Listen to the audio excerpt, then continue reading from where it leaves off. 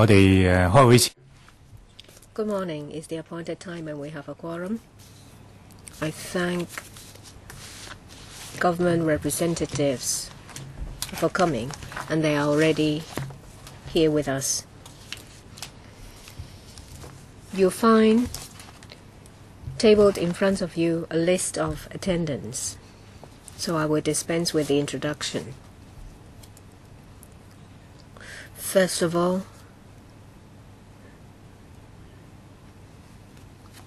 I ask members to confirm the minutes of the last meeting. Paper number CB bracket 1468 stroke 15 to 16. This is a meeting held on the 15th of January 2016. That was our first meeting. So far, the Secretariat has not received any uh, proposals for amendment. If there are no questions, uh, minutes confirmed. Is that all right? Thank you. We'll continue with the next agenda item. Let me welcome once again government representatives. In relation to um,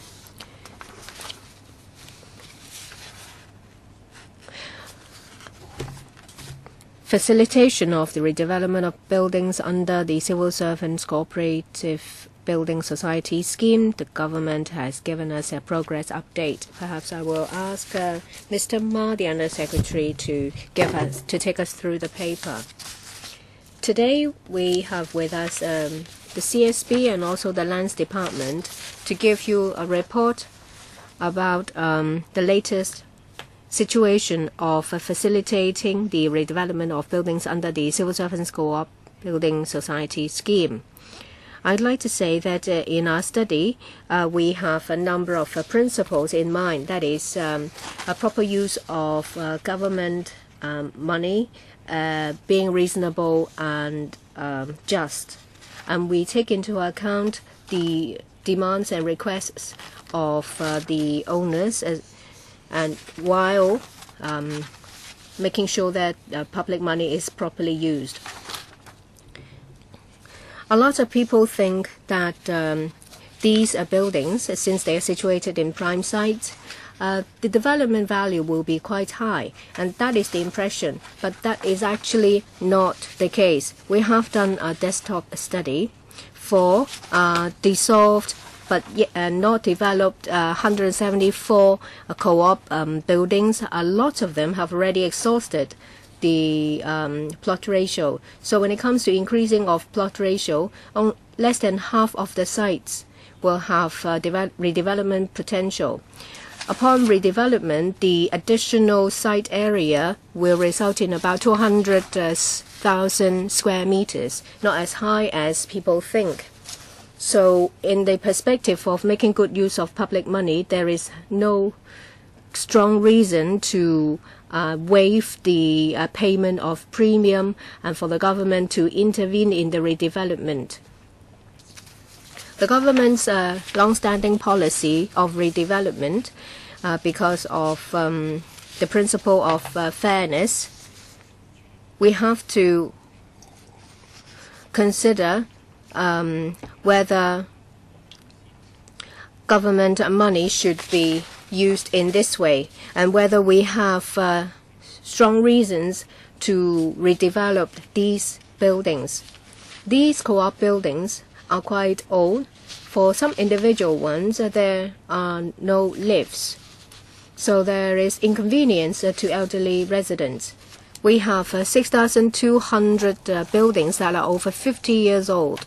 Some of them uh, involved uh, subdivided flats or even more appalling living conditions. So the co-op buildings, by comparison, is uh, better and uh, more spacious. The urgency for redevelopment is lower.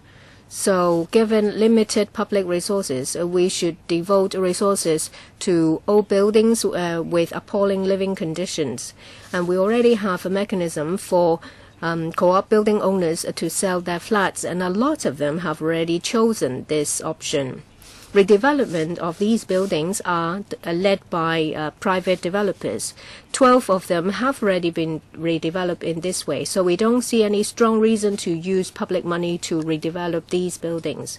We are aware that about 500 serving civil servants living in these co-op buildings, and they and their right to continue to reside at the flat is uh, part of their housing benefit. So asking them to uh, move out from these buildings or to waive their housing benefit to facilitate redevelopment is not fair. And there has been precedent in redevelopment. So uh, requirement for securing 100% owners' participation is not an unsurmountable difficulty. Having said that, um, we have considered the uh, requests of uh, owners and we have uh, with um, DHS, the Housing Society, and relevant government department.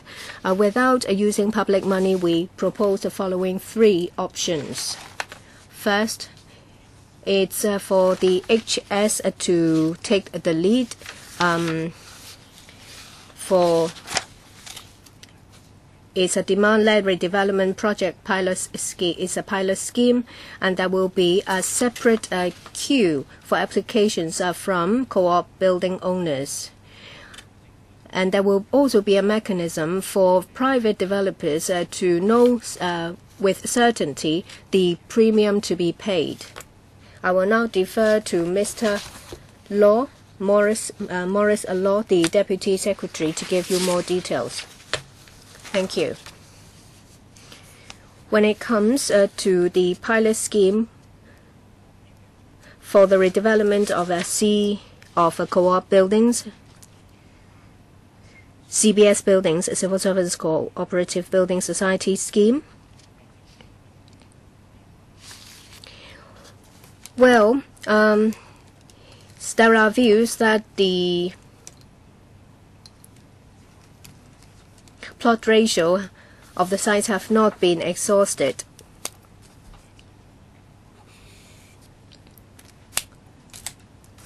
We have plans to launch a scheme to facilitate redevelopment of CBS buildings. And this will be done by demand-led approach. CBS building owners will have to secure 100% owners' participation before an application is made. Upon receipt of the application, DHS will gauge the feasibility on uh, finan uh, financial viability and also feasibility. For the former, DHS will acquire the relevant units uh, at market price. At the same time, they will uh, pay two-thirds of the land premium for relevant landowners to the lands department. And under a no loss principle, the site will be redeveloped uh, for subsidized sale flat and the HS will consider whether it is uh, feasible.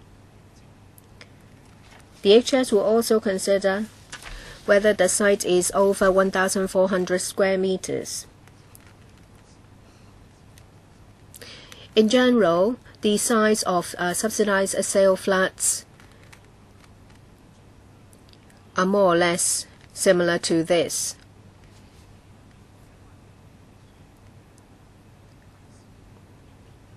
And there is a certain requirement when it comes to proper use of the site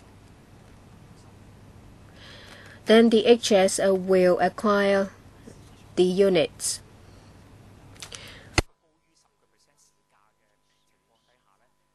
If need be, um, 10% above the market price um, will be offered as acquisition price.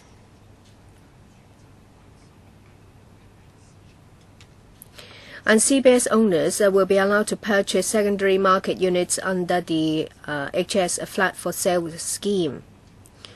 Owners, upon selling of their flats, may buy a slightly smaller unit with um, modern facilities, say for example, uh, lifts in the secondary market. DHS will launch this scheme. We are aware that not all CBS building owners may participate. So the URA will also put in place uh, a dedicated queue for CBS building owners. Eligible owners will uh, can make applications to the URS for facilitating services. Interested owners, if they can secure at least a 50% of owners' participation, may make an application. When it's approved, the URA will provide facilitating services so that uh, the remaining um, shares can be secured. When it reaches 80% or 90%, there will be a joint sale. No fees will be charged in relation to the application, but if the sale is successful in the end, the URA will charge service fees. For those who would like to have uh, the project redeveloped by private owners, the land the land lands department will put in place a new administrative arrangement.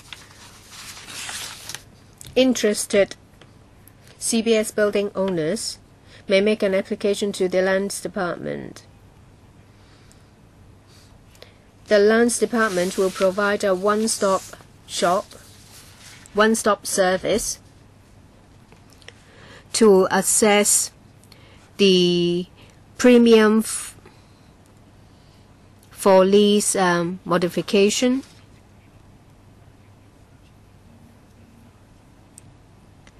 And also um,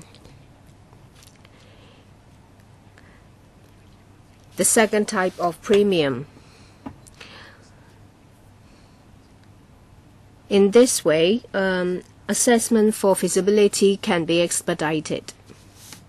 And this already has uh, been put in place. And I will see if members have any questions to ask. In July last year, the administration has made some proposals in relation to the redevelopment of um, CBS buildings.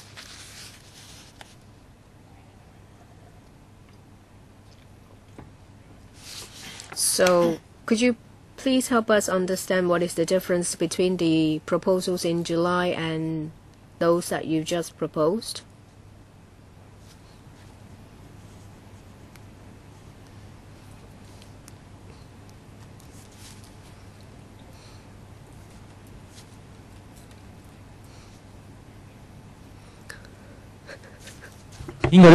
Can the government tell us what the differences are so that we can focus on them? Chairman, I have a question for the Undersecretary. Well, he had a speaking note just now. On the 26th of May 2015, the government also submitted another paper to us, and his speaking note is similar to that paper. But the Undersecretary said just now that not many CBS sites uh, have the potential for redevelopment. Um, can I ask the Undersecretary to provide us with a copy of his speaking notes? No problem.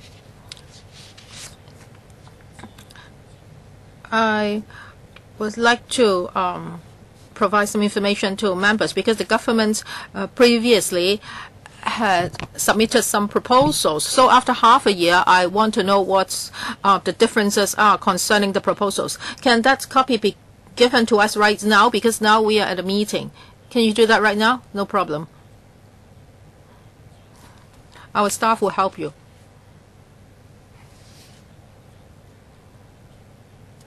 I want him to highlight what changes have been made to the plan. I think photocopying has to be done first, Chairman. I want him to highlight the differences. Um, but after six months, uh, what improvements have been made? Maybe Mr. Morris, uh, Morris Low can tell you about that. First of all, about the Housing Societies pilot scheme for the redevelopment of CBS buildings. In May last year, we put forward some preliminary pro proposals. They were quite conceptual. We haven't um, sought legal advice yet. We had some preliminary proposals. For example, for the uh, building owners, if they sell their uh, flats, are they allowed to purchase secondary market units under Housing Society's flat for sale scheme? Now we can um, tell you positively that yes, these building owners are allowed to do so. And also for the Housing Society, when it purchases CBS uh, flats, would that be more flexible? Instead of purchasing them at market price, can they add a bit of money? The HS has looked at the relevant data and it promises that if there's surplus from the project, they can purchase the CBS flats at a rate which is um, 10% above the market price. So that will be a stronger incentive for CBS building owners to sell their flats. And after the last meeting, we have uh, made some internal discussions. Under the present framework, the UR a would have to work in accordance with the urban renewal strategies. And in general, no matter whether it's redevelopment or renovation, the focus should be put on uh, buildings which are truly dilapidated. Now, a dedicated queue will be designated for its facilitating services. They, so the URA would have to do some internal discussions. But I'm pleased to tell you that um, the URA has done this and they have decided to designate a dedicated queue. And it will start in the second, second quarter of this year. That's about it. Thank you. Members, you can ask questions now. And Chang, seven minutes. Chairman. I want to confirm this first. That is, on the um, 27th of February, there will be a public hearing. That is, the um, present CBS building owners would attend, right? Yes. I hope that before the public hearing, the administration will try to find out more about the CBS because each um, CBS may uh, be facing a different situation. So can you conduct some studies? Now you have put forward some proposals, and the HS as well as the URA say that they are going to help. So which CBS would you think that are eligible because you have come up with these proposals, you want to do things in the interest of people. So your proposals must be feasible, must, must be implementable. Otherwise, next year, this time we will still be sitting here and thinking it's a waste of time. Just now, you also mentioned it. You say that for the URA well, uh, for acquisition, now the uh, requirements is still 100% owners participation. Has that changed? No. So many CBS building owners have told us that this is the biggest problem because there may be elders living in such CBS units. They may be in their 90s. They don't want to move out. And I've also heard that in To Kwa Wan, there's a building and an elder lives there. He has um, physical problems or even psychological problems, so he really cannot handle um, the selling of his flats independently. So I hope that the uh, requirement of 100% can be relaxed. And second, for these uh, owners, after getting the sale proceeds, um, that amount will not be enough for them to purchase um, similar units in the same district. But would they be allowed to purchase HOS flats? But HOS flats are hard to come by. As for housing societies secondary markets, the transaction is only about 10 cases a year. So some of the CBS building owners have told you so. Well, can you relax a bit? How about allowing them to buy new uh, flats? Because otherwise it will be the major concern because they will not be able to buy another flat after selling their old flat.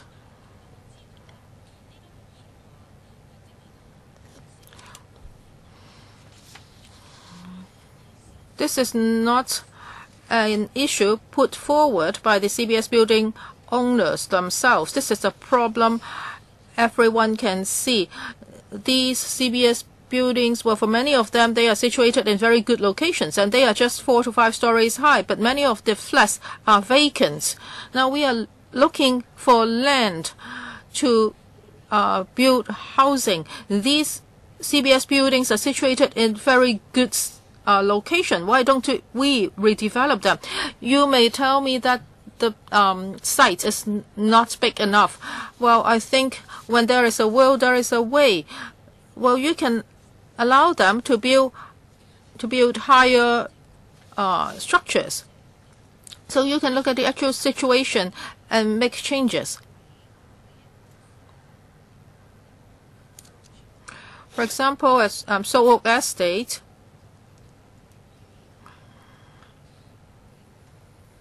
there are a number of CBS buildings which are only four stories high. And a So Uk Estate is 30 stories high. It's just next to it. So why can't HOS buildings be built here? If you impose a building height restriction, what are the reasons? I think most of the public would agree to this. Some of the CBS building owners uh, say that they really don't mind um, giving up their flats. They just want another flat in return. Many of these CBS flats are now vacant. Why? Because no lift can be um, installed there. Many of the uh, residents are already very old, it's very difficult for them to walk up so many uh, flights of stairs, and it's even um, tiring for me. So, can you think about this? In the coming year, according to your plan,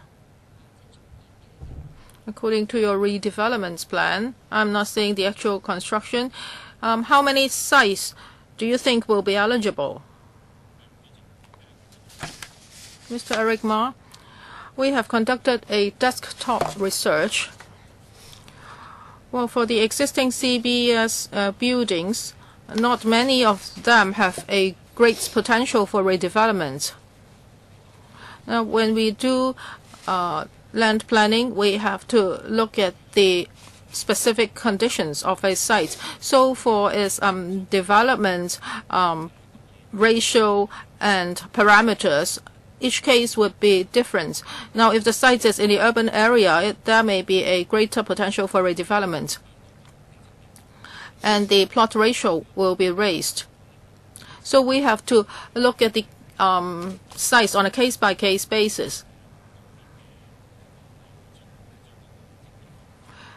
And we cannot just relax the plot ratio across the board because we would have to look at the infrastructure in that area and how the redevelopment of the site will impact on its, uh, its uh, surrounding neighborhood.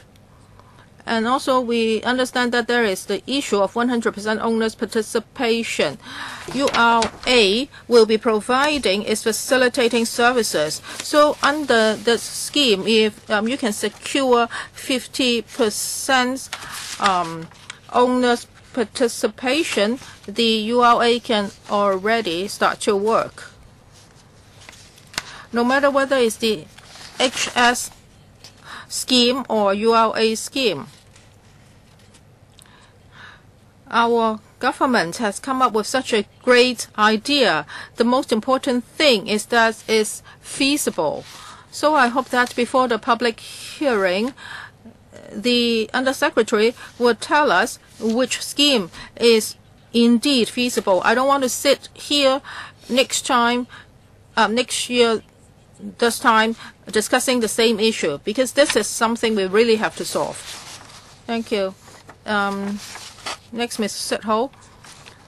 I've got the speaking notes from the Undersecretary. In May last year, you gave us a paper, and I think the content of the latest paper is similar to this May paper. You say that uh, for the plot ratio, of many of the CBS sites is already been exhausted, so there's no potential for redevelopment. I think now we still have 174 CBS sites, and many of them are four to six stories high. But for the buildings surrounding them, they are 20 or 30 stories high. I'm not a professional in this field, but as far as I understand, the plot ratio in urban areas is normally 5, and they can build up to uh, 32 stories. And on Hong Kong Island, the plot ratio is 8. So it's like the Belcher Garden. So can the um, government give us the relevant data for the remaining 174 CBS sites? Can you give us a detailed list of what their plot ratios are and their locations. And I want to know the plot ratios in the surrounding areas. For example, uh, buildings within uh, 50 meters of that site. So when it comes to uh, planning, small house um, can only be three stories high. So if you tear down a three-story building and turn it into a four-story four-story one, of course, um, there's no potential for the for redevelopment. So I think we should start with this first. We should start with the sites that are easier. Now, for my constituency, like um, Wan, uh, some of the CBS buildings are four stories high, and uh, flats can be as big as um, more than 1,000 square feet. But now we have smaller families, so one of the flats can be uh, divided into three flats. And I've heard that now uh, when people sell flats for subdivided flats, um, they can sell up to $22,000 per square foot. So you cannot say that these sites don't have potential for redevelopment. So please give us the relevant data. And shouldn't we be uh, objective based and also tackle the easier task first? There are indeed some CBS buildings at prime site, say from um, if you go from Hong Kong to To Kwa Wan near a flyover. Um, there are a number of CBS buildings that look like no one's living in it and it's quite a big site. And if the government can get involved, it can turn it can be turned into a middle class residential area like Whampoa Garden. I just hope that you will build uh, residential flats that Hong Kong people can afford, like uh, PRH or um, HOS. You don't even need to form the land, and they are in the urban area. But from what you've said, it seems like the administration doesn't want to do it. according to the Undersecretary, that there is uh, no redevelopment potential and they are very old and um, in, and are in disrepair. And if that is the case, then we don't even need this subcommittee. We can simply close down. So, you is it the case that you don't need to make good use of these um, good sites in the urban area? Or is it the case that you don't want to use public money? And if it's the latter, then owners uh, will face cash flow problems. They will need the help of developers. Some owners told me that uh, they have discussed with developers at least in two rounds. No agreement was reached because of um, a premium. They uh, because the developers think that uh, the government ask for too much premium and is simply not profitable. The owners are asked to just sit there and wait for their buildings to fall into disrepair, into a dangerous building. But what we should not let this uh, um, ferment and rot into a big problem before you do something. In relation to the 174 sites, we have done a desktop research and we can supply the information to you after the meeting. I asked uh, members uh, to spend some time to read them. Sometimes when it comes to redevelopment, it's not about the number of um, floors, it's about how much has already been used. CBS buildings are very are highly usable. So they have uh, used up already a lot of the site coverage. So for some, 100% of the site coverage has already been used.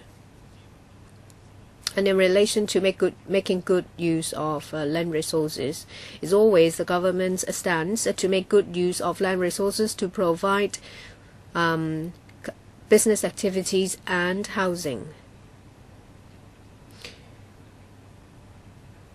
Please understand that when it comes to CBS buildings, we have to make good use of public money. We have to be accountable to the public.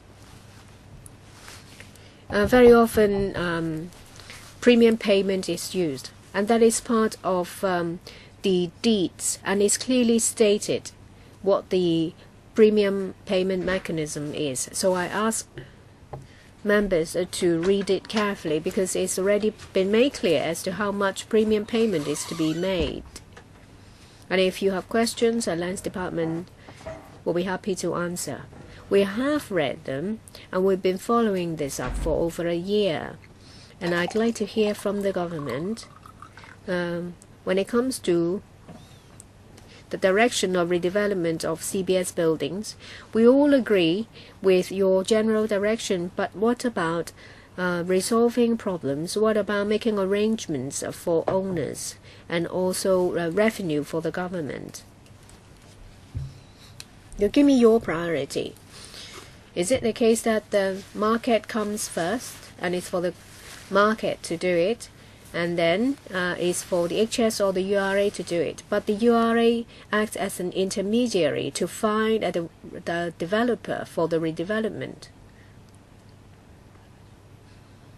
So first is to, to, talk to developers directly. Secondly is uh, for the URA to uh, use the demand led, and then the third one is um, is a semi-official way under the no loss principle, and the last one is uh, the worst Nothing is done. There is no principle. You can't find developers to participate. And when um, owners don't have money to repair the building, the building becomes a dangerous one, then the government will intervene. Is that the case? We'll hear from Mr. Uh, Si Wing first, before we hear from the Undersecretary.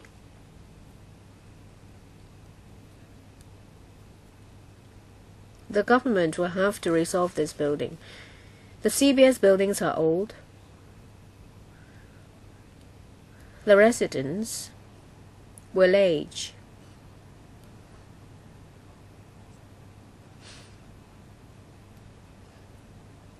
Some owners may pass away and you may not be able to find the owners. Of course, for the government, they will only try to resolve uh, problems that have been left to them. But that is not the attitude to do it. If you don't take the initiative to resolve it once and for all, the same problem will remain in another 10 or 20 years. Civil servants have made their contributions. So I hope the government will adopt the attitude of uh, problem solving instead of just uh, thinking about the laws, thinking about public interest. They have their own. They have their duty. The three options have that the three proposals have their own mer merits, but would they be acceptable? If not, even a hundred proposals will be useless. There will be a public hearing.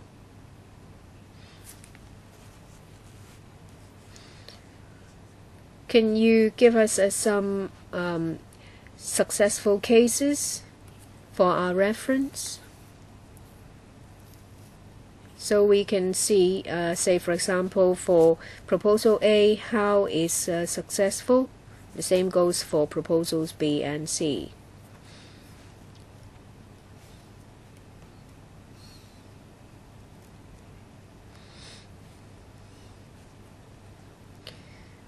In the public hearing, owners will tell you their plight and you will explain to them using these successful cases as examples. It will be easier.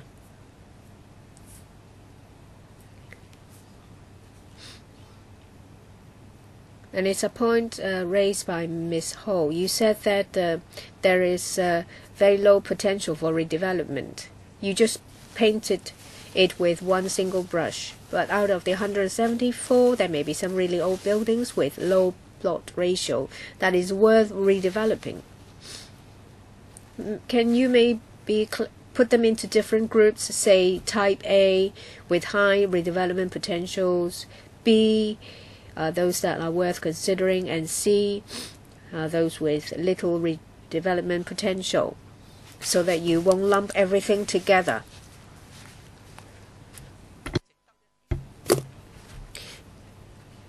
If you group them into different groups, we will be able to see that there are different types and some with high potential.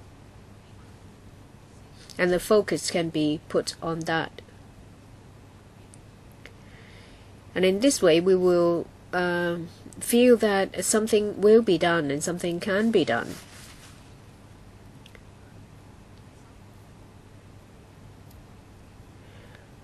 And about the green form and the right to live there. Green formers have priority. Would you consider this? Because uh, this will resolve the premium payment problem. If you're talking about the right to reside there, would you consider some other uh, provisions in the law?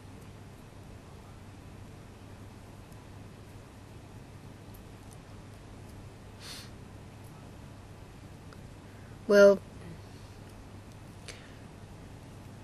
can there be uh, some kind of expedient expedient alternatives um, for the owners to buy another flat?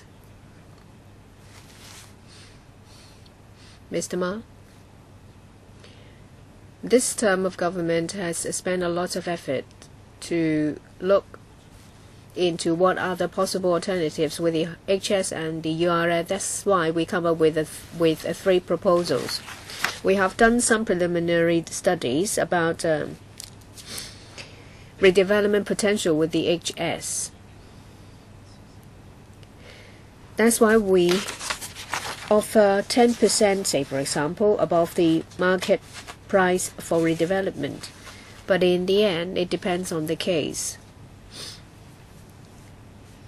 And in relation to grouping them into uh, different groups, or those with high potential, low potential, it will be difficult because it would be better for me to give you the crude data for you, the raw data for you to uh, have a look. We don't want to stigmatize uh, certain CBS buildings. And anyway, different owners may have a different uh, perception about the redevelopment potential. For some, the owners may think that uh, I my flat is in a prime uh, location. Yes, uh, the site coverage might have been exhausted. Uh, there is still a very high potential for redevelopment. So it's not proper for us to group them into different groups of redevelopment potential. It would be better for us to show you the raw data. For the green form, I will defer to Mr. Law.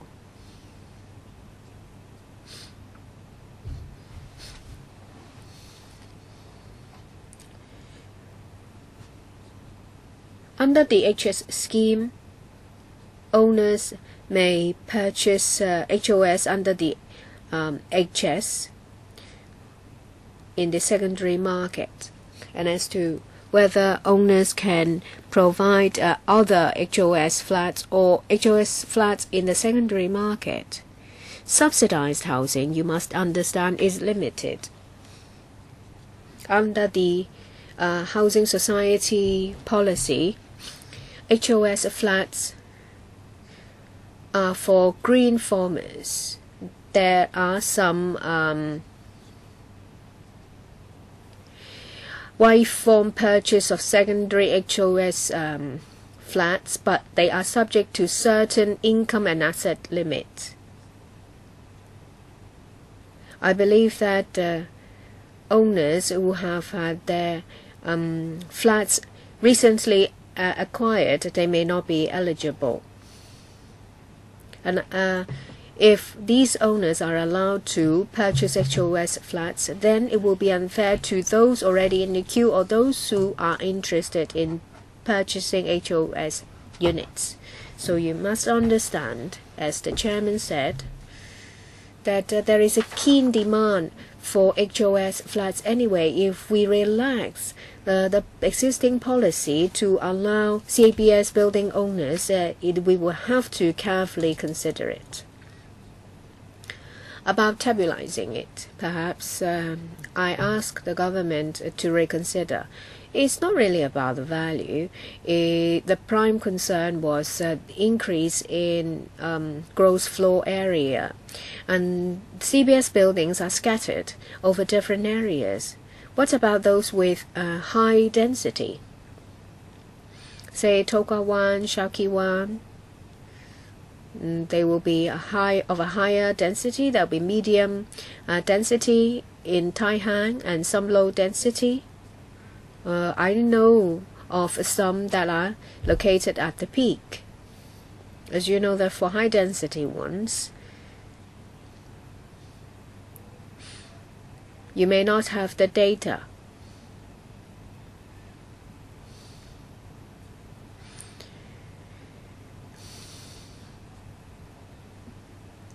Those in Sham Shui Po, they are lower in height. The site coverage may be higher. But people in general think that redevelopment will increase gross floor area.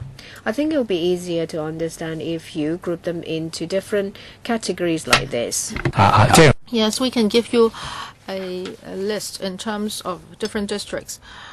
Yes, um, because some areas are more densely populated. Now, uh, for example, at the peak is 0.5 and at Tai Hang is 1 point something or 2. Of course, um, CBS buildings are in different uh, locations, and they may be subject to the relevant planning, planning parameters in that area. Mr. Um, Alan Leong, yes, I agree with some of the members who spoke earlier.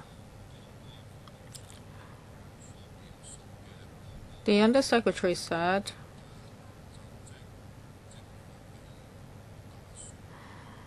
that the government is not going to proactively redevelop the remaining 100 odd CBS sites.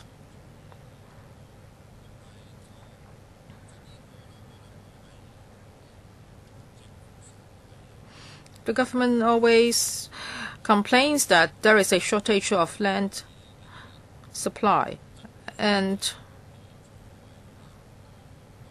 I am really doubtful about the government's plan for CBS size. We have received a paper. Uh, the paper number is 467 slash 1516 and it is a submission from the incorporated owners of the Thesaurus Court dated the 18th of January this year.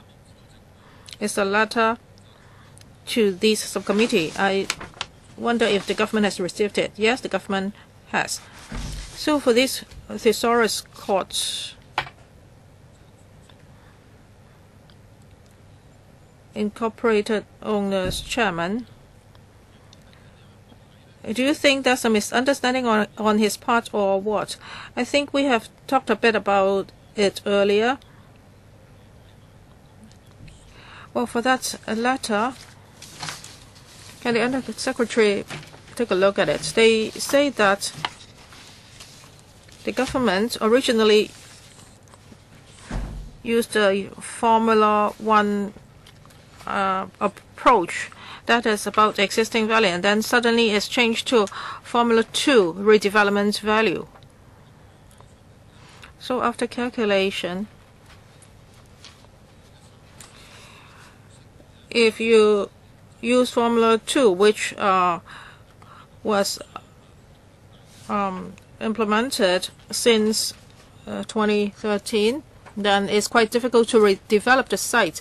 They are talking about 17% uh, of this sale uh, price, and now it's 60%. So that's about the uh, premium payment. So is it a misunderstanding, or does this truly exist? Chairman, for um, land uh, lease is uh, very clear. It's very it's a very clear document. So I would ask Mr. Liu to explain about this. Thank you, Chairman. First of all, for Thesaurus Court is not a unique example. All CBS buildings and uh, similar governments or civil servants buildings, um, they may face the same problems. So initially, um, these buildings were developed by civil servants uh, in the 50s. So um, that has nothing to do with titles. This kind of projects aim to provide uh, residences for civil servants at that time, so it has nothing to do with title the titles um, didn't really belong to the owners. In the 80s, there was an agreement. The government agreed that if the CBS uh, dissolved, then the um, titles would be given to the individual owners. But in the agreement, it stated very clearly uh, that although the titles are given to the relevant civil servants, However, there is a uh, restriction of alienation of the flats. So if the restriction has to be removed, the two-third outstanding land premium would have to be paid. So all these are set out very clearly in the title deed. Uh, they would have to uh, look at the existing uh, land use value, and they would also uh, look at the redevelopment parameters. So um, all this would have to take to be taken into account. So to answer the members' question, it is very clear as to how the land price should be um, calculated. So we haven't changed any of this over the years. So in other words, these Chairman Wong of the Thesaurus Court misunderstood it. He said that he mentioned the date um, of April 2013, and there has been a change since then. So, what happened on this date? Well, uh, maybe my colleague can tell you more about the possible misunderstanding. Ms. Chen? Well, for the Thesaurus Court, when the owners try to sell the flats, um, they asked us to uh, assess the land premium. At that time, the, redevelop the redevelopment value was low. So when we calculated the land premium, we used the um, land use value at that time. The building was getting old. Although um, property price did go up, but because that building was old, so um, that price uh, didn't go up as much as well. So we've adopted the redevelopment value for calculation. At that time, because of that calculation, there was a change. So that's why uh, Chairman Wong um, thought we changed the rule of the game. Actually, we didn't because we have always been using two approaches, and we would always use the higher um, approach. Now, the Undersecretary said that um,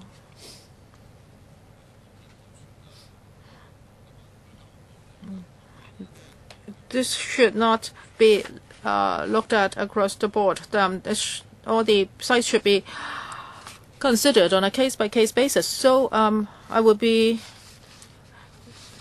happy if they can give us a list giving us all the details. Uh, for example, uh, whether you, you're adopting Formula 1 or Formula 2 for certain sites. So you want um, such information in a table. Now there are over 170 sites. So will they be using Formula 1 or Formula 2 and which one is the higher? I think that's a timing problem. Yes, if the uh, property price collapses, then they would um, look at the existing use value. I think that takes time because there are so many items. They have to do valuation it really takes time. I think if um, they can uh, just tell us where these sites are, their locations, and the density in that area, then it will be clearer because we will know what the town planning um, parameters in that location would be.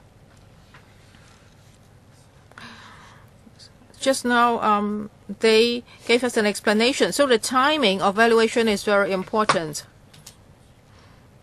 If you need figures, I think um, they would have to use a lot of resources, and we are talking about over 100 sites, and there are two uh, presumptions concerning each site. Yes, I understand. Maybe I'm asking for too much. But can they do this for that 174 CBS? They can make their own calculations, right? For example, um, building use value or redevelopment value, can they make their own calculations? Maybe I can ask the undersecretary to supplement. But I think we need professional people to do this. Mr. Ma? I think this would involve a lot of professional valuations. But the method is very clear. Um, it's stated in the title deed. But however, um, the timing of valuation uh, may be very different. If the owners want to get a valuation, they can um, employ professionals to do so. But if you ask us to do valuation for 174 sites, it's really very difficult. Mr. Leong? For um, Thesaurus Court, I hope the government can give us a reply in writing. Just now, they have uh, given us oral replies but I think there are policy papers. Uh, I wonder if there are policy papers anyway. However, I think they should give us an answer in writing so that we can understand it more. Can Mr. Ma take that into consideration? Yes, we will follow up on that. And I can assure members that for our um, land premium uh, payment mechanism, there has not been changes because when a property is valuated at a different time, the resulting uh, price may be different. So we will also reply to the owners of the thesaurus court concerning this. Mr. Yiu Si-wing, seven minutes.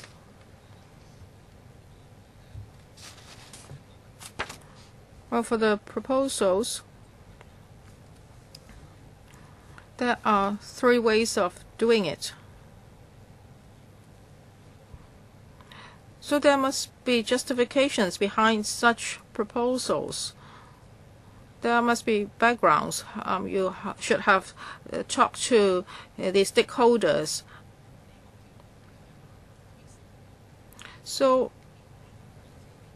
and there have been some um, successful cases, I think, or at least a consensus has been reached. So, can you tell us why uh, case A is successful and case B is not, etc. Let us know the reasons behind that. Otherwise, some people would think that these preliminary proposals are just imagined by the government. No consensus has ever been reached.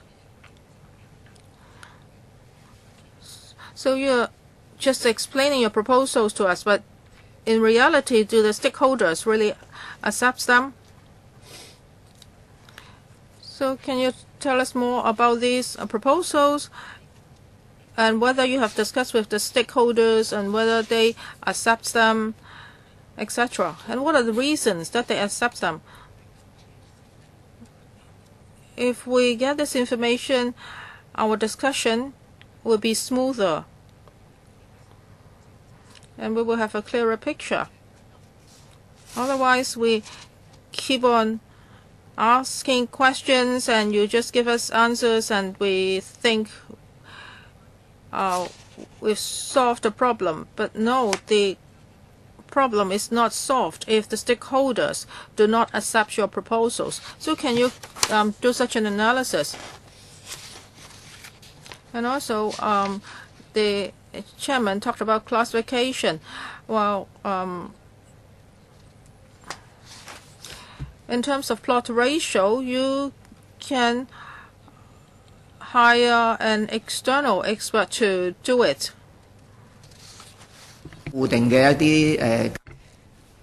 Well, the town planning board uh, have their own uh, set of rules when it comes to provision of information. Perhaps we can take reference from that, uh, so that we will get some information as to uh, which have more redevelopment potential. And it goes without saying that uh, if it's somewhere with a lower redevelopment potential, then um, they would, then you will have to wait if you lump them all together, then we will never be able to move forward. The government said that, uh, well, they will have to be fair to all citizens. So HOS flats cannot be made available for CBS building owners. It's a matter of responsibility.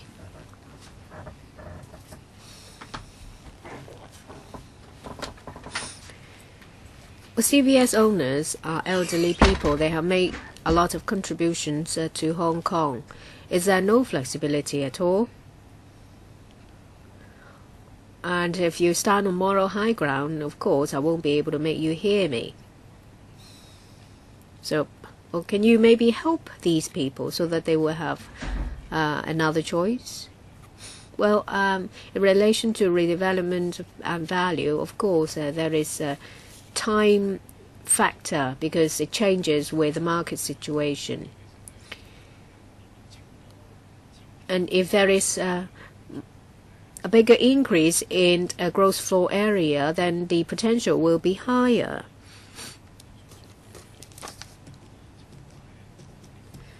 It's quite easy. You only have to give us a table.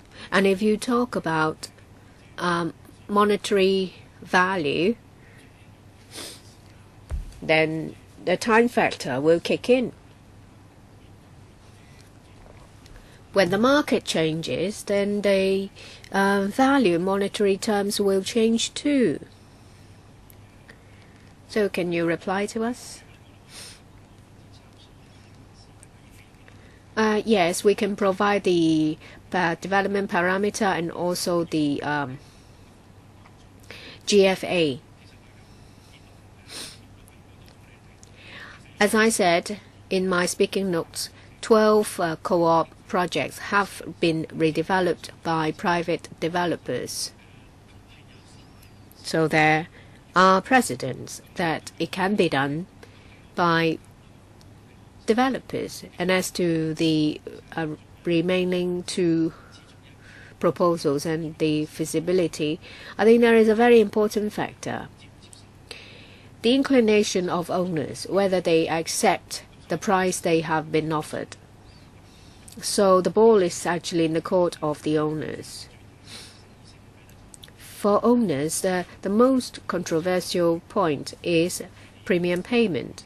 They think that uh, the payment is too high, and they also think that the value of their flat is higher, and that is quite object uh, quite subjective. Lands Department have already provided them information with uh, premium payment. Owners can engage an, a, a professional to assess the premium and the premium pay premium amount can be appealed using the existing mechanism.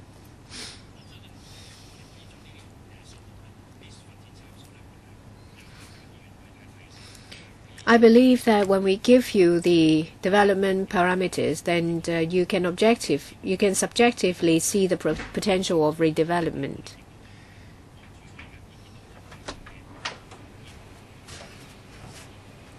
For suitable uh, proposals. I do hope that uh, some some of them will uh, adopt our proposals, say, for example, the pilot scheme or the um, demand-led approach of the URA, because it's feasible. Mr. Yu?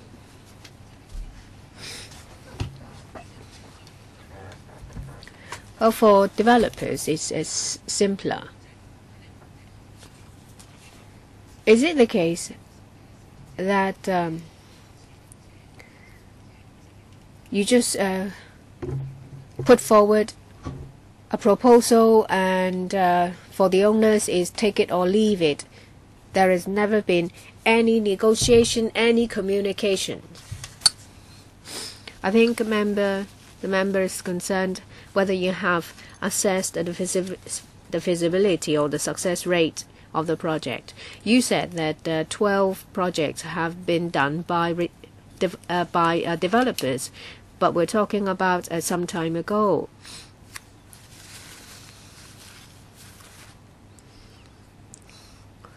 You need to be able you need to feel that it's is workable before you can put forward the proposal otherwise it's only a waste of resources and time when we made the two proposals, we are confident that um, it's attractive to some owners, and that is subject. There is the subjectivity. That is uh, that is uh, how much the owners think the unit is worth.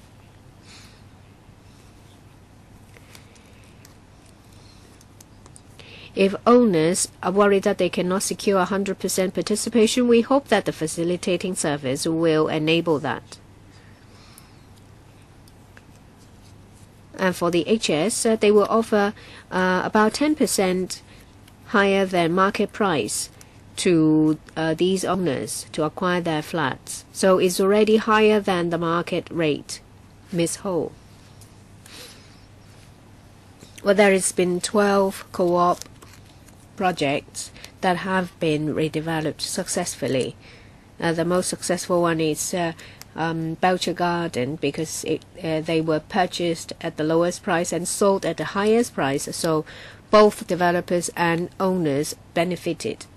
But now, with a volatile market,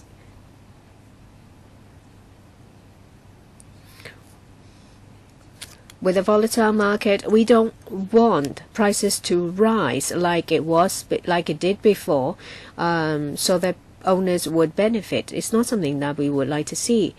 But taking that away, there are still about um, 10 successful projects. Can you tell us what successful factors are present in these uh, CBS building schemes? Are they no longer present? I understand that um, I understand that the assessment um, was based on existing use value and not the redevelopment um, value. Of course, if uh, you ask developers to do it, they will ha they have a reason to use redevelopment value. But if it's done by the HS, then you can use existing use value because the HS will turn it into subsidized flats and not for profit only. Through redevelopment, we can provide more smaller flats for to house more families. I thank the Undersecretary and the Deputy Secretary for undertaking that for undertaking to provide information about uh, gross floor area, um, development parameters, and also um, additional uh, floor areas after redevelopment of the 174 um, projects. Can you give us the information of the 12 successful projects? What was the formula for the um, premium payment? If it worked before, will it work today?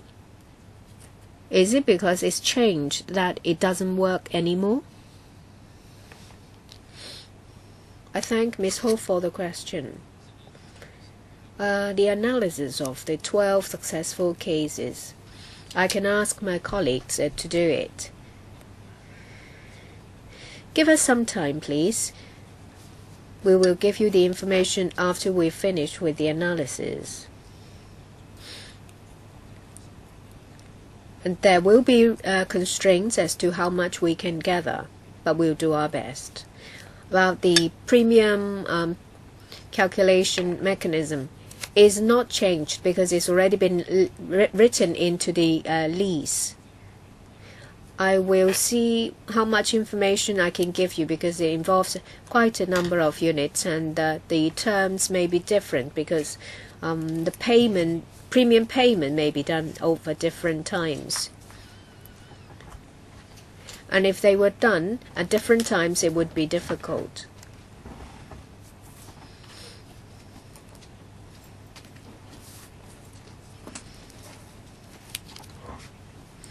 Under the HS mechanism, uh, we would like these to be uh, subsidized flats. So there will be two premium payments. First is the premium payment in relation to the co-op building. The second one is in relation to the future development. As subsidized flats, uh, only part of it has to be paid.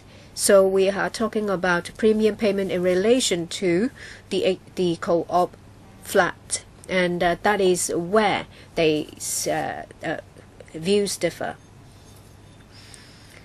So, if you want to release uh, land to turn these big flats into smaller ones to house more families, um, it's done by the HS. Existing owners only have to pay one premium payment that is the one related to the uh, co-op flats that is 15 to 17 percent instead of paying premium um, payment to the future development. Wouldn't it be easier? Because if you have purchased an HOS flat when you sell it you have to pay the premium payment. It's only a matter of deferring the payment and if you defer it, then it will uh, reduce the difficulties of cash flow. And you say that there are lots of uh, places for redevelopment and there is no priority. But if these projects are taken up by um, a public organization, and you said that, uh, say, for example, there will be no loss or a profit of, say, just 10%. And if the formula of premium payment can be worked out and it will be more feasible for Hong Kong HS to do it, then perhaps the government can identify a number of co-op projects, start with them under the pilot scheme so that people can see that uh, it's successful. But the premium um, payment is uh, rather technical, so I will defer to Mr. Law. I would like to start with the HS scheme. And it will also answer Ms. Ho's question. For the first uh, premium payment, the HS will pay on behalf of the owners or to the government directly. So please explain what is uh, the first type of premium payment. Oh, I thank you, Chairman, because uh, not only members will have to understand, members of the public who are watching this will need to understand too. Let me start from the beginning. This is a very good opportunity for me to explain how many um, tiers of um, premium payment payments are involved. Normally, for a co-op buildings, a CBS buildings, there are two types of premium payments. For CBS buildings, there is an alienation restriction. That is, the flat cannot be assigned um, just like that. So um, only one third of the premium premium has been made. So when um, that's a, an assignment, then the remaining two-thirds outstanding premium owed to the government would have to be paid to the government. That is, for CBS building owners, one-fifth of them have already paid the premium. So this is not something unachievable. Some of the owners have already done this. So for the whole block of a CBS building, if it's to be redeveloped, well, maybe the uh, plot ratio has not been exhausted on that site. So if they want to improve the plot ratio, so as like a private redeveloper, they would have to uh, do a lease modification. So another premium would have to be paid for the lease modification. So some people would say that that means um, uh, more uh, floors can be added to the new building. That is by increasing the plot ratio. Just now, members asked about the HS pilot scheme. The spirit of that pilot scheme is that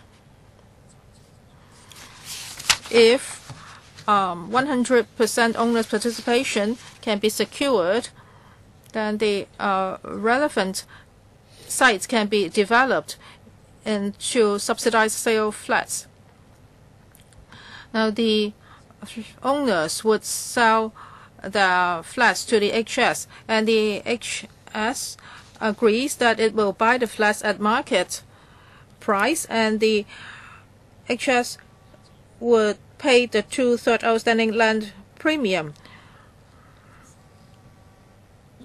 Because the uh, owners do not have to pay the land premium, so, so they don't have to worry about money. Then the flats will be sold as SSF. The government would have to uh, pay for lease modification, but that will be a discount. Now, because um, at different times the market uh, situation may be different. Just now you talk about two types of land premiums. And you have to uh, look at the market situation at that time, right? Well, we understand that for land premium, it really depends on the land price at that particular moment. Land price may change at different moments. For the first um, land premium, that is the two-third outstanding land premium that I talked about just now, in the title deed, it's already stated that how the two-third outstanding premium uh, should be paid. So it really depends on the land price at that particular moment. Chairman, I would like to follow up. The owners have told me that initially they have already paid two-thirds of the land premium, and they have given us uh, documents um, it, from the year 50, uh, 1952, 1953. They have also provided us with the relevant papers. It's stated very clearly that uh, for this kind of CBS buildings, they would have to pay half of the premium at that time. So now there is uh, something unclear. Is it half or one third or two third or what? So for each CBS, they have signed agreements with you. So that should be very clear. Uh, we are going to be given a paper on the different CBS size situations. So can you also at this point, that is, in the uh, original agreement, did they pay half of the land? Have they paid half of the land premium or one third of the land premium or what? I want to see this information as well. Yes, can the government clarify?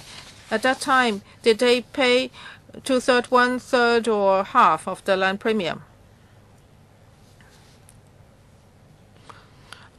Our members have also received another submission from the residents of Longchuan Court. They have also provided us with a number of documents. I hope the government can give us an initial reply here, and later on, please give us a written answer.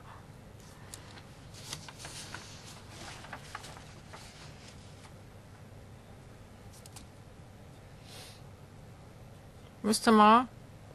Can you answer first, and then I'll ask uh, Ms. Chan Yuen-han to raise her questions. Now, for the land premium payment mechanism is clearly stated in the title deed. Maybe Mr. Chen or Ms. Chen can explain more to you about this. Assistant Director. In August last year, the government submitted a paper to the um, development panel in um, is um, attachment B. Um, we stated very clearly that our one third of the premium was paid at that time. So in the title deed is stated very clearly that if the alienation restriction is to be removed, two-thirds of the outstanding premium would have to be paid to the government. Okay, 30 seconds. Now we are holding on to this circular dated 1952, and the government talks about an agreement. So can you uh, show us the copy of the agreements that you talked about, then we would know what's going on. Yes, for this particular case, because um, now we have some uh, residents from the Longchuan court telling us their side of the story. So I hope the government can give us a written reply. And if you have relevant old documents, please also attach the copies of the old documents to your paper so that we will have a better understanding of the outstanding premium. It seems that there are two sides of the story now. Next, Ms. Chan Yuen-han. Seven minutes. I'm not a member of this subcommittee. I'm the vice chairman of the welfare panel. I have another meeting next door, but I would like to say something here. A number of residents has talked to me, so I'm very concerned about this. Just now, the female officer said that at that time in the 50s, it was stated very clearly. Uh, Ms. Sitho says that you should show us the documents, but I don't see it that way because I have um, come into contact with many cases like this. I remember it was Meitong Estate or something like that in the 50s. The government uh, wasn't doing things very clearly, I think, and there were different uh, documents. I have been involved in this type of work for a very long time. Unless you can show me the exact documents, then I'll believe you. If the residents say so, then there must be a problem. The incorporated owners of the thesaurus court said that they have already paid half of the land premium, so it's not one third. They have supporting documents. So I need to see your documents as well because you know in the 50s chairman well you know you know how the government operates. I'm not going to use bad words but i don't think um, the government was not doing very well in the 50s so we need to be patient. We should dig up the history Now, first of all, the residents are pleased that the housing society is going to do this. However, this has been dragged on for years, so they hope that you can speed up. Now we are talking about the outstanding premium. Is it half or two-thirds or what? This is the focus. They are quite anxious. They have been talking to us for several years, and this subcommittee is really progressing. However, we really need to work hand in hand with the governments. Please take up the old documents. Now you are asking the HS to do this. The residents are happy. However, this is their rights. It has to be very clear. Now there are disputes. So you need to provide us with the relevant documents. Different CBS may have different agreements. You have to show them to us. Uh, sorry, Chairman, I have to go back to the other room but this is what I want to say. Uh, Madam Chen, you are a member of this subcommittee. Really? but I have to chair the meeting next door. But do you want to listen to the government's response? I have asked them to give us a written reply. Chairman, my point is that they have to give us a written reply and they have to set out the information concerning all the CBS, not just one or two. Mr. Ma? Now for the thesaurus court issue, I think, um, yes, we can answer the questions in detail. For each of the arguments, we can give you a response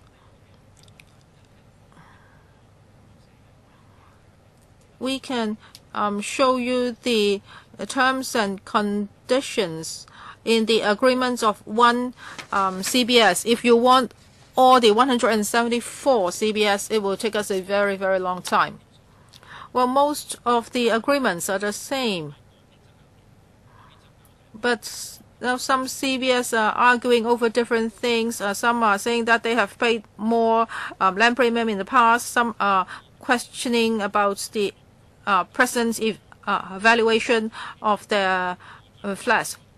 We will respond to the views um, of the Longchuan Court and the Thesaurus Court.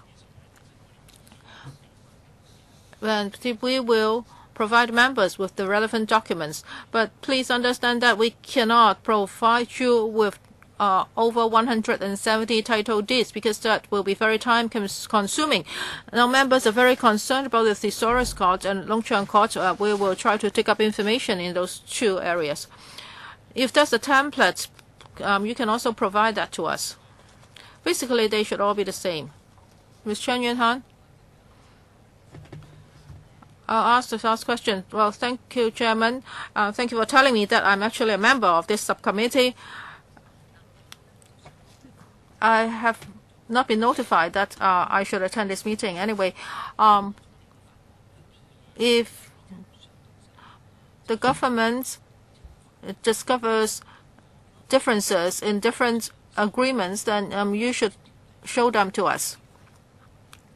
And we should also call on the CBS to come to contact us in the past two to three decades, I have handled many cases like this. The two sides have to work hand in hand. For Tai Ham uh, village, I handled over 7,000 cases. So I hope the government will try its best and we will contact the relevant parties. We hope the different CBS can provide us with their documents. Ms. Chen. We are going to have a public hearing on the 27th of February. We will invite the relevant um, deputations to come to the hearing. So if there are different views, I hope that um, they can be expressed at a public hearing, and also um, submissions are welcome. Government, anything to add? Just now, Ms. Chen said that if we find um, different requirements in the um, title deeds, uh, we should let you know. Yes, I will ask my um, colleagues to dig things up, but that will be quite time consuming. So I think uh, we will be looking up the information concerning Longchuan Court and Thesaurus Court first. Yes, I would also like to listen to the views of the um, CBS. Next, Mr. Yiu Si-wing. Thank you, Chairman. For the redevelopment of CBS sites, what's the greatest value is the plot ratio. Just now, some members said that uh, there are different plot ratios in different districts. But is there a flexibility uh, for the CBS size? Maybe the plot ratio is 5.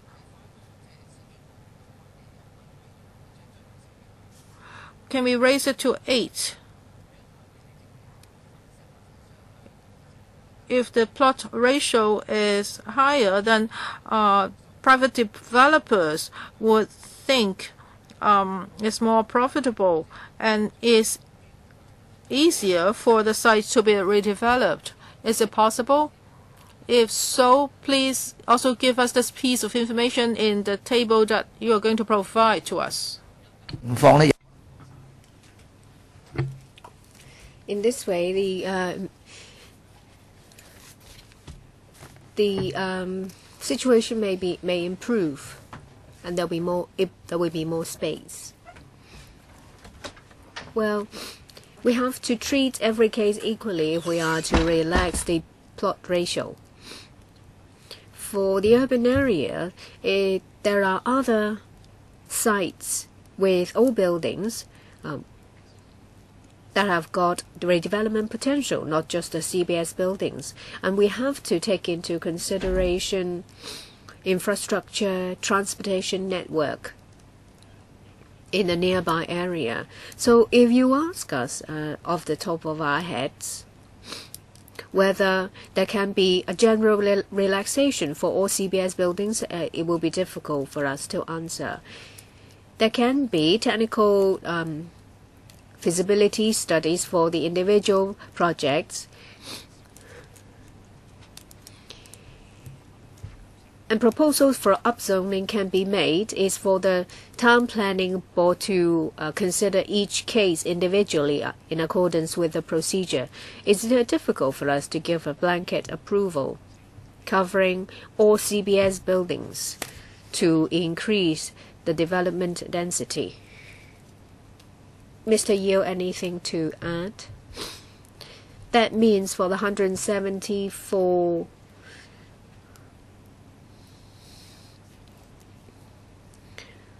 co-op um, buildings, is there any chance that uh, there will be relaxation? so that uh, owners uh, will know whether there is any uh, possibility, any flexibility that there may be a relaxation, or is it the case that uh, you will refuse any um, negotiation until it reaches that stage? Well, the government has already agreed to give us a table and a list. There will be information about uh, say, for example, uh, currently um, the, the, GFA is about 20,000 uh, square feet, and uh, under the uh, town planning, it can it can be developed into a 30,000 square feet area. I think uh, what the official is saying is that uh, an application has to be made to the town planning board for them to consider.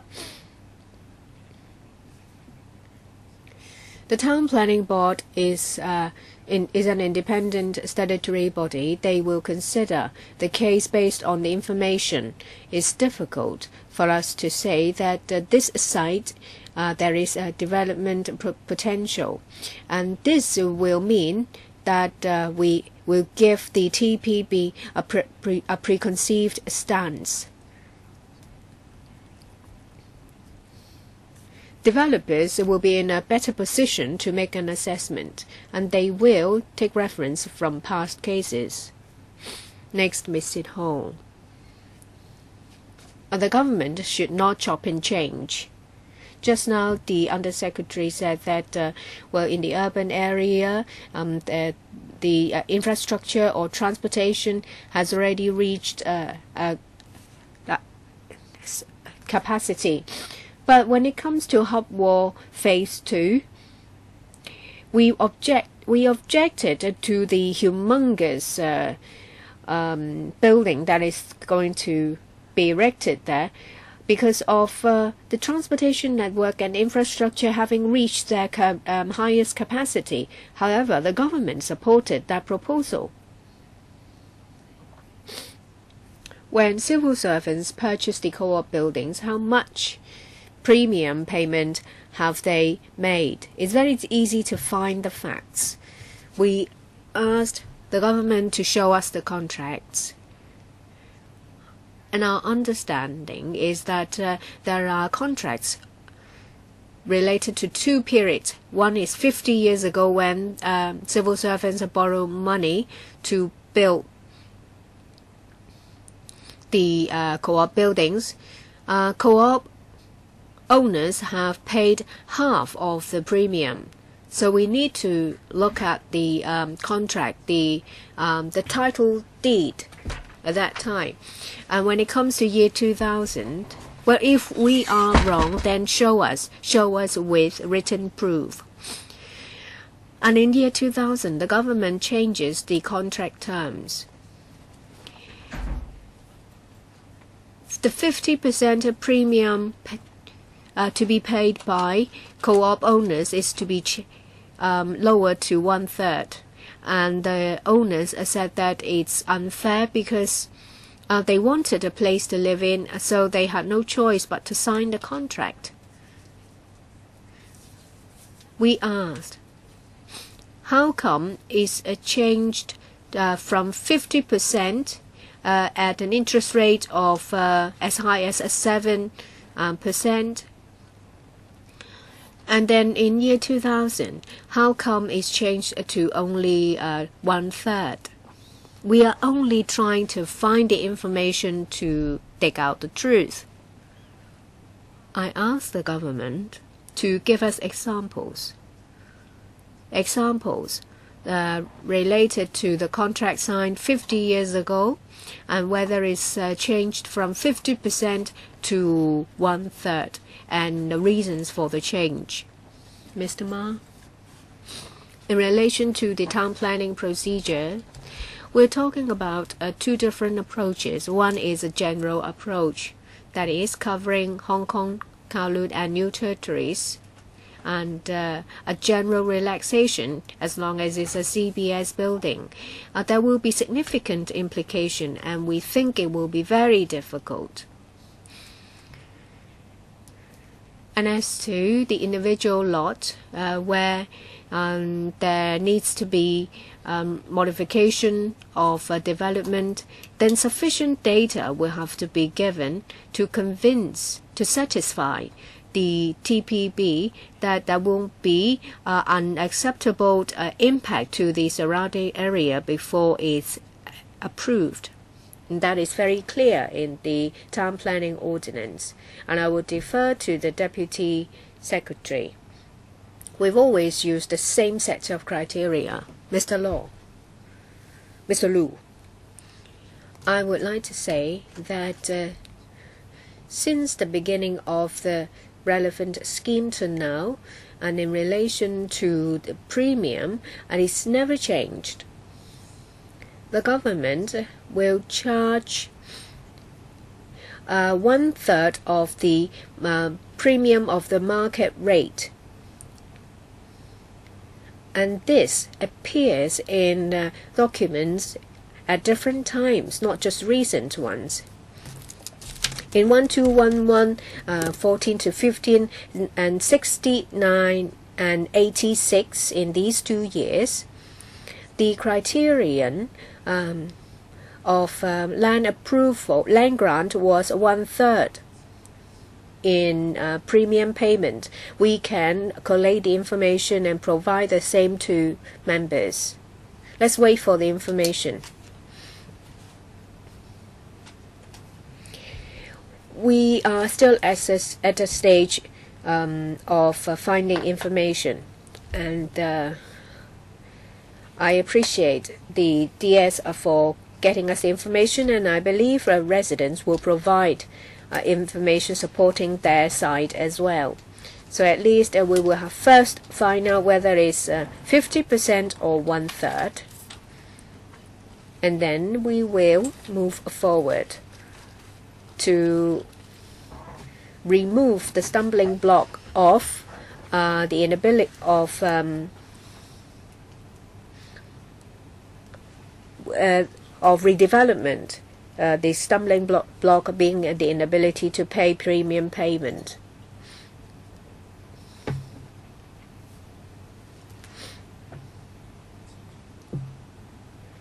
For some civil servants, uh, they receive housing benefits. The most recent one is a home financing scheme. And um, the amount received is pocketed by the civil servants regardless of market prices. For co-op buildings, co-op buildings owners need to clarify as to how much was paid in premium. And some people think that uh, why do I have to pay premium payment based on the current market uh, price and not the market price at, back at that time?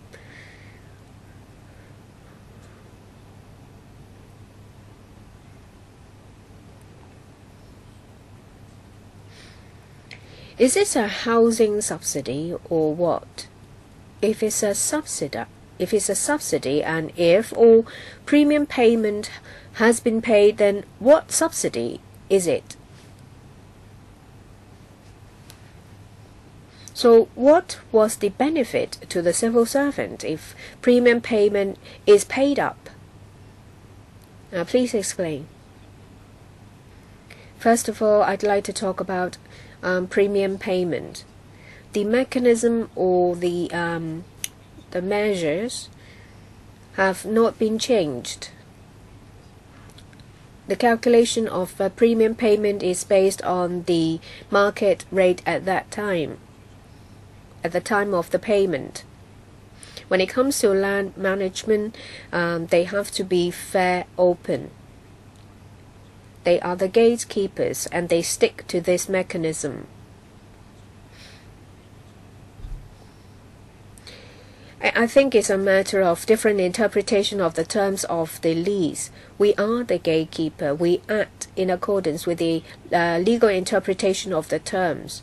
And as to, um, well, what um, benefit will the owner occupier get? I will defer to the uh, to Ms. Lau from uh, CSB. If it's uh, about a provision of um, housing benefit to civil servants, the major principle is that it, it is offered based on the um, terms of uh, employment and uh, service in terms of service. When it comes to co-op uh, housing schemes, it was back in the 1950s uh, quite a long time ago. The nature of housing benefit at that time was that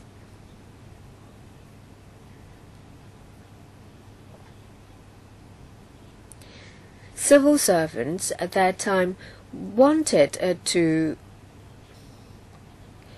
get together and uh, build their own homes. And at that time, the operating environment of uh, housing construction is different, was different. So under the CBS scheme, eligible civil servants will, will organize themselves into uh, co-ops.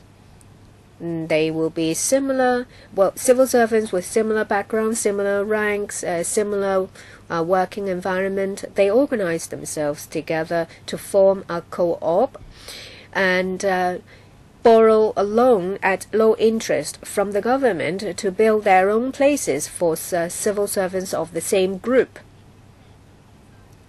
The objective was to meet housing needs of uh, civil servant families. The nature is different from uh, say, for example, the home financing scheme as mentioned by the chairman. Because under the co-op schemes, uh, when the units are built, the civil servants uh, will move in, and uh, and if you're a member of the co-op, if you retire, you can preserve your membership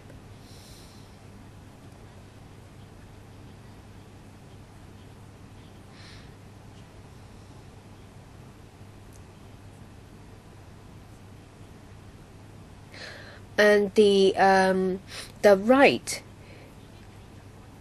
the legal title can be passed uh, on to family members of the of the um, civil servants.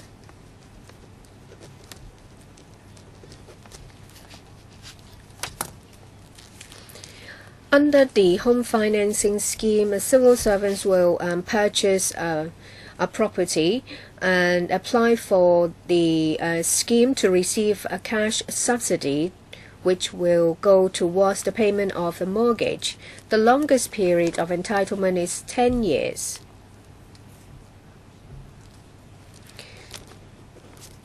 So that means it's 120 months. After the 120 uh, month's payment have been paid, the housing benefit will cease. That is the arrangement for the home financing scheme. and as to the the latest uh, scheme, it's uh, one for newly joined civil servants. We have taken reference uh, from housing benefits uh, from other um, public bodies. Is an accountable uh, cash subsidy. civil servants may use the uh, subsidy regardless of whether the civil servants owns a property over a fixed period of time and for so there will be a difference um, uh, of housing benefits you receive depending on your terms of uh, employment, terms of contract. So for the Civil Servants Cooperative Building Society scheme, at that time, the government was trying to help the civil servants to get low interest loans and the civil servants at that time didn't have to um, fully pay the land premium. But now we have to find out whether uh, they have paid half or one third or two third of the land premium. There are different um, stories about this, right? So, um, am I right? Yes. Some civil servants think that they have um, contributed their whole life to society.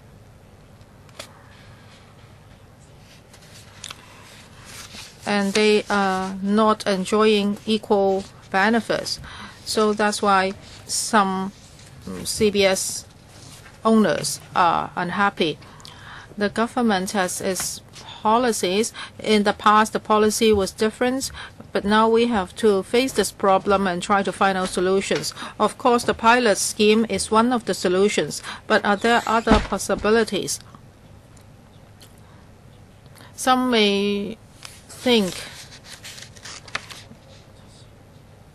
that um, the CBS buildings that they are living in lack facilities. And the maintenance of the buildings will become more and more expensive.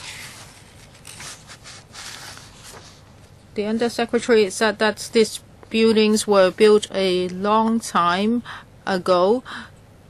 So, and these are all residential buildings. so the ground floors cannot be used as shops. It may have an impact on the vitality of that area.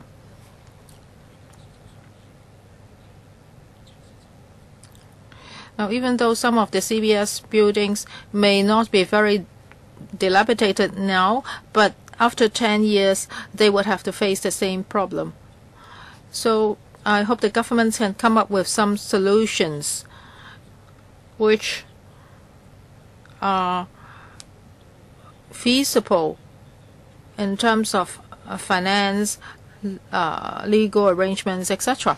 So our members will discuss your proposals. If your proposals are not lawful, are not technically feasible, or financially viable, then we shouldn't spend time uh, studying them. So for the government's latest proposal, as I said just now, on the 27th of February, we will be holding a public hearing. And I hope the stakeholders can seize this opportunity to come and express their views. And also members have raised questions and expressed opinions today. I hope the government can provide the relevant information to us later. And also, there are certain uh, CBS that have uh, given you submissions. I also hope that you can give us a written reply as soon as possible. If members have no other questions,